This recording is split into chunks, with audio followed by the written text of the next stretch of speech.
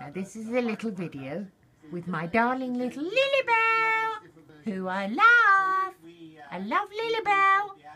Do you love me? Do you? A little bit.